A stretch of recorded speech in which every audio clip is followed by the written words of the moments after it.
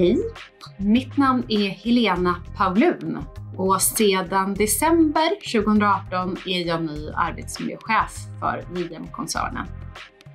Min bakgrund är, ja, en gång i tiden har jag pluggat juridik och arbets och organisationspsykologi.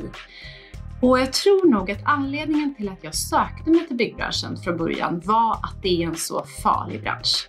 Rent av en exceptionellt farlig bransch. Den farligaste vi har. Tätt följd av jord och skogsbruk, men det är ändå byggbranschen som vinner den trista tävlingen att vara den mest olycksdrabbade. Och det vill jag vara med och förändra. Anledningen till att jag har sökt mig just till JM? Ja, för det första så började jag faktiskt hålla JMs arbetsmiljöutbildningar för något år sedan. Och sen har jag blivit kvar och utvecklat mina arbetsuppgifter här.